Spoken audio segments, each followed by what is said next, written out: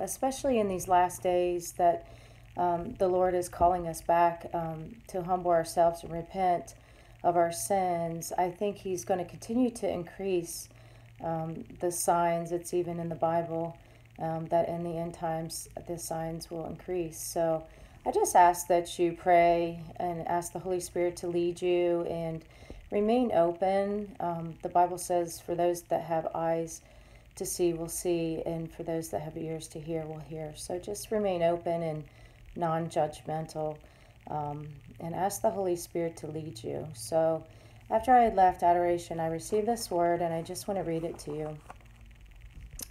Um, the scripture that the Holy Spirit uh, led me to was Colossians 1 6.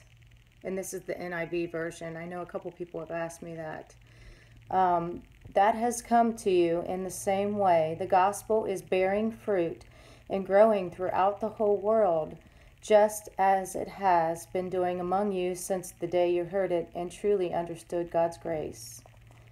Um, so that is beautiful. And then the Holy Spirit was speaking to me. Um, he said, Restore your people, be an Esther to the world. I, your father, need a voice, someone to be consistently bold for their faith. A paradigmal shift is at hand. Woe to the wicked who cast their pearls to swine. Woe to the lost who seek worldly, earthly treasures instead of eternal sanctification, and salvation in me. The storehouses of heaven are waiting for those who will humble themselves before my glory. Enter into praises and thanksgiving, always honoring your Father before all things. Nothing shall come before me. Come to me, humbled and reverent, repenting of all sins. I shall make you white as snow no one can remove the stains except I, your King. I am the King of kings and the Lord of lords. There is no other above me.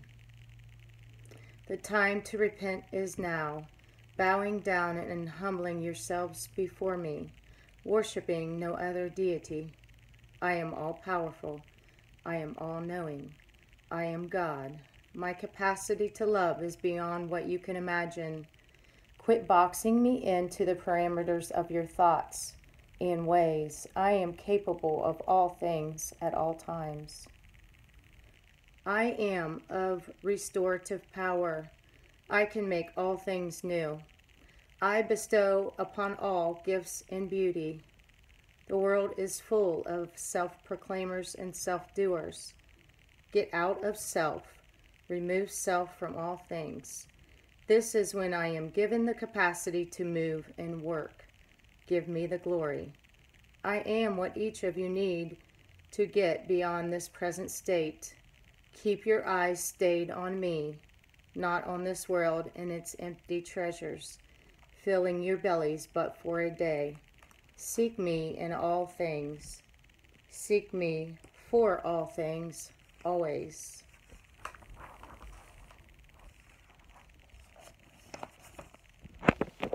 And also, after this word, he gave me Hebrews 2 4. God also testifying with them, both by signs and wonders, and by various miracles, and by gifts of the Holy Spirit, according to his own will. Also, you can look up Mark 16 20.